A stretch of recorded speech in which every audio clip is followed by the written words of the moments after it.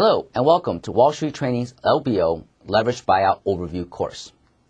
Please note that these materials are copyrighted and may not be disseminated or reproduced for any reason without express written consent from Wall Street Training. Wall Street Training provides financial modeling, valuation modeling, mergers and acquisitions, merger and leveraged buyout modeling, training to corporations, as well as through public open enrollment seminars and self-study video-based learning.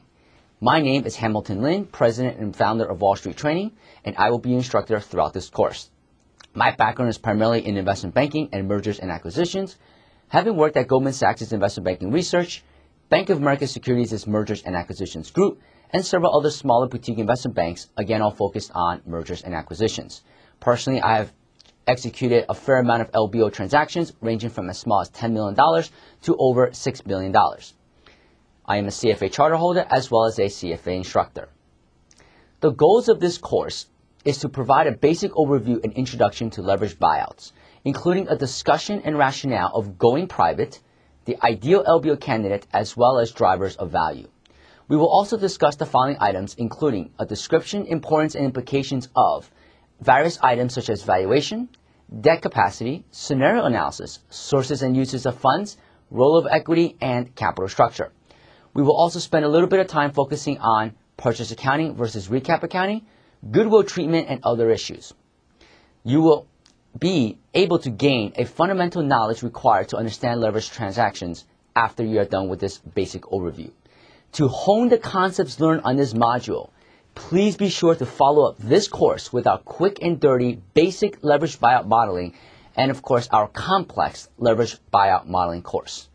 This does currently assume that you have a basic understanding of accounting, fundamental concepts in finance and valuation, and we highly recommend prerequisites to this course include our accounting and financial statements integration, our finance 101, and our corporate valuation courses at a bare minimum. Let's now turn our attention to the very first slide. What is a leveraged buyout? A leveraged buyout can be thought of through the following analogy. Leveraged buyout is simply using debt to buy something out, hence the word leverage and buyout. Now, you can akin this to the following analogy. Let's say you're buying a real estate property.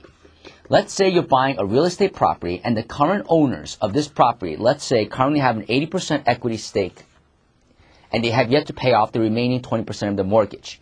You come in here and you borrow a massive amount of debt and you put down, let's say, anywhere between 10 to 20% to purchase this property and you put down and you borrow anywhere between 80 to 90%. This is the leveraged buyout portion. Then you will use the internally generated cash flows. Key is the internally generated cash flows to pay down the debt and build equity build equity such that by the time you're done, your equity stake, not that this is drawn to scale, but pretend that there is no appreciation in the actual asset, but you will be able to build your equity up to the point using the internal cash flows generated to pay down the debt. And this allows you to now own a greater percentage of the company upon an exit or upon a sale. This is considered typically a financial transaction and usually sets the floor or the minimum valuation. Why is that? Because if a strategic buyer comes in, in theory, this is in theory now, they can also do the same thing and extract additional value if they're able to actually also provide economies of scale or cost savings or whatnot.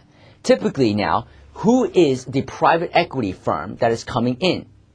This is the person who is actually supplying the core capital, the equity base. Now, what is private equity? Think about private equities opposite the public equity markets. What's the public equity market? That's simply the capital markets, the stock exchange, etc. So therefore, the private equity markets are basically sources of capital, sources of equity that are from private sources as opposed to the public, general John Doe investor, etc. Now, Let's flip to the next slide.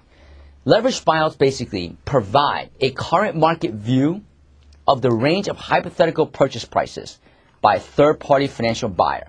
This is typically contingent upon several items. You must have an acceptable capital structure. You must have the right interest rate and return requirements for both the equity and the debt. We'll talk more about this a little bit. And also refinancing terms and whatnot. Typically speaking, and of course these targets will continuously change, especially as you meet different uh, different uh, market trends in the current uh, LBO cycle, but typically speaking, private equity firms like to generate at least a return of 25 to 30 percent.